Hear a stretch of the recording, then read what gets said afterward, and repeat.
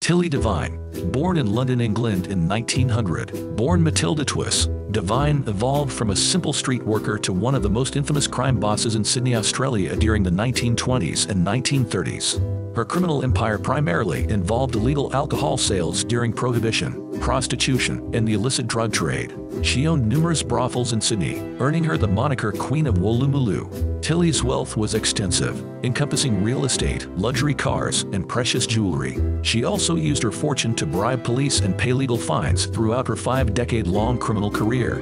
Tilly's rivalry with fellow crime figure Kate Leigh, a notorious bootlegger, was legendary. Their violent feuds, known as the Razor Wars due to their weapon of choice, are an infamous part of Australian criminal history. Tilly's personal life was as tumultuous as her career. She was married to James Devine, a fellow criminal who was responsible for several murders, as well as the attempted murder of Tilly herself.